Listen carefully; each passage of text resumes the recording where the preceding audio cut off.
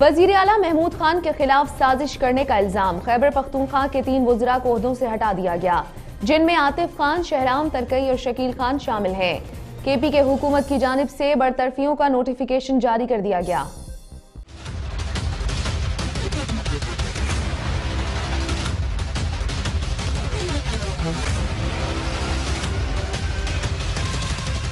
وزیر اعلیٰ خیبر پختونخوا محمود خان سے اختلافات مہنگے پڑ گئے۔ خیبر پختونخوا کے تین وزراء کو برطرف کر دیا گیا۔ کابینہ بدر کیے گئے وزراء میں عاطف خان، شہرام ترکئی اور شکیل خان شامل ہیں۔ عاطف خان کے پاس سپورٹس اور کلچر کا قلمدان تھا، جبکہ شہرام ترکئی کے پاس صحت اور شکیل احمد ریونیو کے وزیر تھے۔